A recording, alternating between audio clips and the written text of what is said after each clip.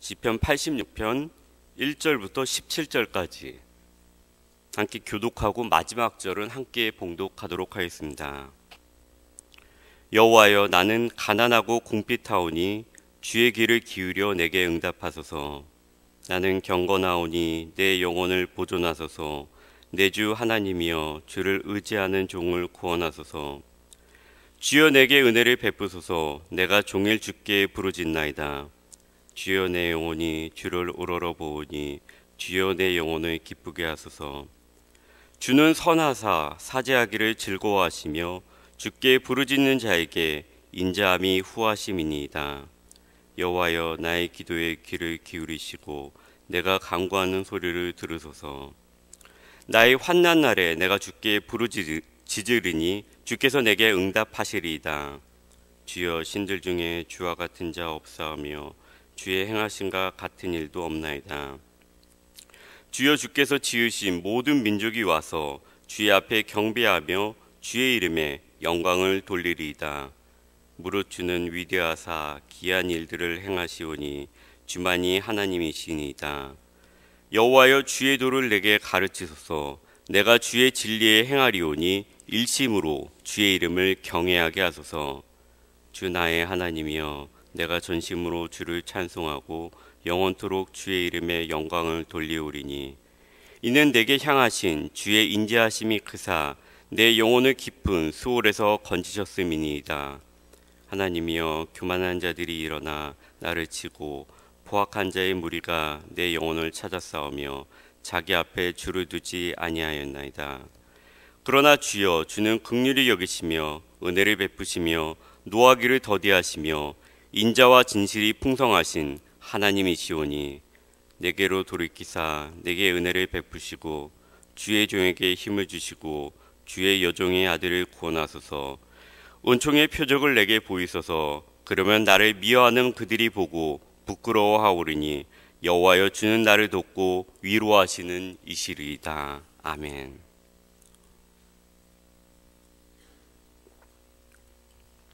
제가 오늘 본문을 묵상하기에 앞서서 한번 다시금 이 시편, 이 시편에 흐르고 있는 신학적인 주제에 대해서 한번 어, 읽어보고 오늘 본문 말씀을 묵상하니까 저에게 이 본문 말씀이 좀 더 쉽고 그렇게 마음에 와닿았습니다.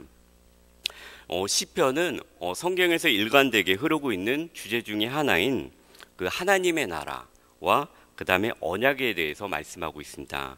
이 시편도 동일하게 이 성경에서 전반적으로 흐르고 있는 하나님의 나라와 그 언약에 대해서 동일하게 말씀하고 있습니다. 먼저 하나님의 나라입니다. 다윗은 왕으로 있었습니다. 그가 왕으로 있다는 것은 그가 나라를 다스리고 있다는 것을 의미합니다. 그 나라에서 가장 높은 사람이라는 것을 의미합니다. 그러나 반대로 시편 가운데 우리가 다윗을 통해 볼 수 있는 것은 다윗이 그의 나라를 찬양하는 것이 아니라 이 왕이라는 하나님께서 주신 자리를 통해서 하나님의 나라 그리고 진정한 왕은 하나님이시다라고 찬양을 하고 있습니다. 그러면서 그 찬양을 통해서 우리로 하여금 다시금 하나님께 하나님만이 진정한 왕이시다라고 하나님께 나아가게 한다는 것입니다. 다음으로 언약입니다. 이 언약은 하나님께서 이스라엘 백성들과 맺으신 것입니다. 이 언약 백성이라고 하는 것은 이스라엘 백성들이 고통 가운데 있을 때, 탄식 가운데 있을 때 구원하시는 하나님, 하나님 나를 구원하십시오. 나의 죄를 사하십시오라고 말씀드리고 기도할 수 있는 근거가 된다는 것입니다. 또한 그들의 잘못 가운데 있을 때 아니면 이 세상에 악인들이 존재함으로 인해서 그들이 어려운 가운데 있을 때 나를 구원하신 이는 오직 하나님이십니다. 왜냐하면 하나님이 나의 하나님이고 우리가 하나님의 백성이라는 그 언약이 있기 때문입니다. 다음으로 이 시편은 그의 찬송이기도 하지만 예배 때에 불리어진 시라는 것입니다. 이 찬송이 바로 예배 때 하나님께 불러짐으로 인해서 이 찬송을 통해서 우리가 하나님을 만나게 되고 왕이신 하나님을 다시금 알게 되고 그로 인해서 이 세상 가운데 하나님의 통치를 우리가 바라고 다시금 기도하게 되고 하나님께서 창조하시고 우리를 구원하셨다는 것을 다시금 창조 다시금 찬양하게 된다는 것입니다. 그리고 이 찬양이 예배 때 불러짐으로 인해서 우리가 하나님을 더욱더 알게 된다는 것입니다. 우리가 하나님을 알게 될 때 그 자리에서 우리는 하나님의 임재를 찬양할 수 있게 된다는 것입니다. 오늘 본문 말씀 이제 한번 보도록 하겠습니다. 오늘 본문 말씀 보실 때 이 본문 말씀이 다윗의 어려운 가운데 하나님의 도움을, 도움을 구하는 그의 개인적인 찬양이기도 하지만 이것이 말씀 가운데 선택이 되어져서 예배 가운데 불리어졌다는 것입니다. 그리고 이 예배 가운데 불려짐을 통해서 우리를 하나님을 더욱더 알게 하고 우리를 그 자리로 인도한다는 것입니다. 오늘 본문의 첫 번째는 다윗의 강구가 나와 있습니다. 다윗이 지금 어려운 가운데 있습니다. 그래서 그가 하나님께 이렇게 강구합니다. 1절에 보시면 응답하소서 하나님 제게 응답하여 주시옵소서 2절에 보시면 하나님 저를 보존하여 주시옵소서 그리고 3절에 보시면 하나님 저를 구원하소서 4절에는 하나님 제게 은혜를 베푸소서 5절에 보시면 내 영혼을 기쁘게 하소서 그가 이 어려운 가운데 이렇게 기도를 한다는 것입니다. 그가 어떻게 이런 기도를 할 수 있을까요? 아까 말씀드렸던 것 같이 이것이 바로 하나님을 알기 때문에 그가 하나님에 대한 지식이 있기 때문에 이렇게 강구할 수 있다는 것입니다. 이것은 동일하게 예배를 드리는 우리 가운데 우리가 어려운 가운데 있을 때 나의 죄로 인해서 어려움이 있든 아니면 이 세상에 악인이 존재함으로 인해서 어려움이 있을 때 하나님 응답하여 주시옵소서. 하나님 저를 보존하여 주시옵소서. 하나님 저를 구원하여 주시옵소서. 하나님의 은혜를 베푸시옵소서. 하나님 내 영혼에 기쁨을 허락하여 주십시오라고 동일하게 우리 역시 기도할 수 있다는 것입니다. 다음으로 다윗은 하나님을 아는 지식 가운데 이렇게 고백하고 있습니다. 하나님은 지극히 선하시며 사죄하기를 즐거워하신다라고 우리에게 말씀하고 있습니다. 사죄하기를 즐거워하신다. 이 말씀이 어떤 것을 의미하는 것일까요? 저는 이것을 본문, 이 본문을 읽으면서 저희 어릴 때가 생각이 났습니다.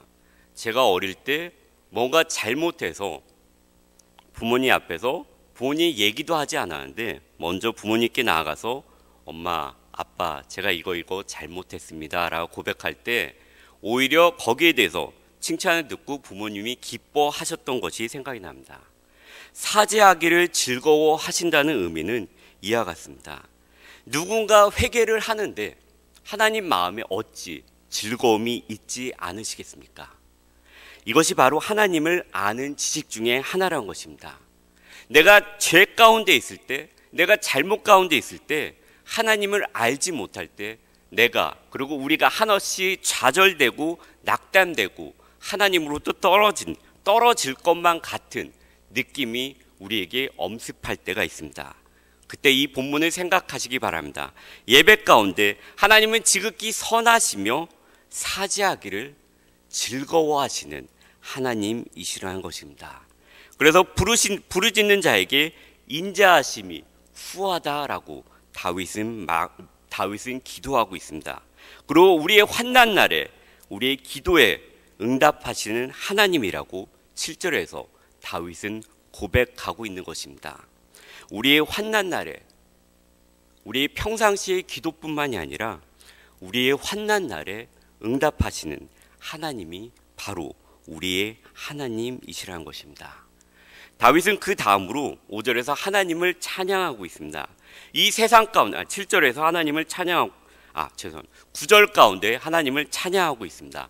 이 세상 가운데 하나님과 같은 신이 없다라는 것입니다. 하나님은 그이한 일들을 행하시며 하나님만이 오직 하나님, 신만이 할 수 있는 일을 행함으로 인해서 이 세상의 모든 민족들이 결국에는 하나님을 찬양하게 된다는 것입니다. 하나님께서만 행하실 수 있는 그 일 때문에 세상의 모든 민족이 하나님을 찬양하게 된다는 것입니다. 하나님께서 행하신 일이 수없이 많이 있습니다. 그러나 오늘 본문 가운데 우리가 하나 생각해 볼, 볼 것이 있습니다. 하나님만이 행하실, 행하실 수 있는 일, 그것이 무엇일까요? 바로 독생자 예수 그리스도를 우리에게 보내시사 그를 통하여서 우리의 죄를 사하시기를 즐거워하신 하나님이시란 것입니다. 그리고 그것을 통하여서 예배 가운데 우리 역시 믿지 않는 자들이 모두 다 나와서 하나님을 찬양하기를 바라는 마음으로 찬양하고 기도하고 예배하고 그것이 우리 마음 가운데 있어야 한다는 것입니다. 왜냐하면 하나님은 홀로 하나님이시며 이 세상을 창조하시고 우리의 죄를 구원하신 하나님이시기 때문입니다. 다음으로 다윗이 그의 기도가 하나님께 응답을 받는 이유에 대해서 이렇게 말씀하고 있습니다. 주는 내게 향하신 주의 인자하심이 크다라고 말씀하고 있습니다. 내게 향하신 주의 인자하심이 너무나도 크다라고 얘기하고 있습니다. 내가 하나님께 기도하는데 내가 무언가를 잘해서 내가 하나님 앞에 너무나도 경건하게 살아서 그것 때문에 하나님께서 내게 응답하시는 것이 아니라 내게 향하신 주의 인자하심이 아주 너무너무 크기 때문에 그것을 믿고 나의 기도가 하나님께 응답받아 응답 드려질 것이다라고 다윗은 기도하고 있다는 것입니다. 마지막으로 보게 되면은 다윗이 강구하는 장면이 있습니다. 악인들이 주의 곁에 있고 악인들이 그의 곁에 있고 악인들이 자기를 미워한다고 말씀하고 있습니다. 그로 인해서 하나님께서 내게 징조를 내려주사 그 징조로 인해서 그들이 스스로 부끄러워 부끄러움을 당하게 해달라고 얘기하고 있습니다. 그런데 이 부분에서 다윗이 이런 말을 합니다. 이런 말을 하고 있습니다. 그들 다윗을 미워하는 자 그리고 그 악인들에 대해서 그들은 자기 앞에 줄을 두지 않는다라고 얘기하고 있습니다. 자기 앞에 줄을 두지 않는다. 하나님이 앞에 있지 않는 것처럼 살고 있다는 것을 의미하고 있습니다. 이것은 그들 가운데 하나님을 아는 지식이 아예 없거나 하나님에 대한 무지, 하나님에 대한 무시, 경외함이 없음을 의미하고 있습니다. 이들 가운데 다윗은 하나님, 제가 하나님과 지금 함께 있다는 증거, 하나님 제게 은혜를 베푸신 그 증거를 통하여서 그들을 멸하여 주십시오라고 기도하고 있는 것이 아니라 그들이 그것을 보고 스스로 부끄러워하게 하여 주십시오라고 기도하고 있다는 것입니다. 우리 주변에 나를 핍박하는 사람들 아니면은 이 우리 주변에 수많은 악인들 가운데 우리의 삶 가운데 우리와 함께 하시는 그 하나님을 통해서 그들이 보고 스스로 부끄러워하면서 하나님께 나올 수 있도록 인도하는 것이 또한 우리들이 해야 되는 또 하나의 기도라고 생각합니다. 오늘 하루를 살아가면서 오늘 하루 나의 삶의 예배의 자리 가운데 하나님께 강구하고 또한 하나님을 알아가는 그것으로 인해서 나의 삶 가운데 응답 받아들 하나님께서 응답하여 줄 것이라는 믿음을 갖고 기도를 하며 나의 삶 가운데 하나님 저와 함께 하시는 증거를 보이사 주변 사람들이 하나님을 믿을 수 있게 해주십시오라고 기도할 수 있는 저 우리 모두가 되었으면 좋겠습니다. 함께 기도하시겠습니다. 하나님 아버지, 우리가 세상을 살아갈 때 우리의 죄로 인해서 어려움이 올 때도 있지만 또한 이 세상에 악인이 악이 존재함으로 인해서 어려움이 올 때도 있습니다.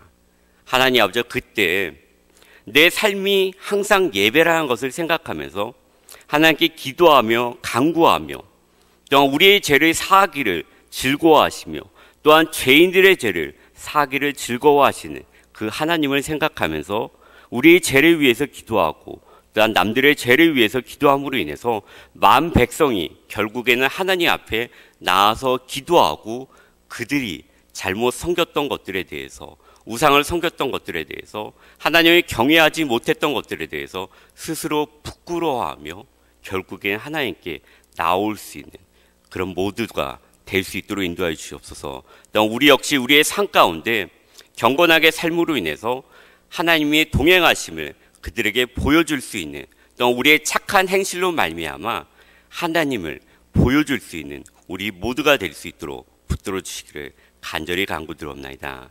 우리를 구원하신 귀하신 예수님의 이름으로 간절히 기도드립니다. 아멘.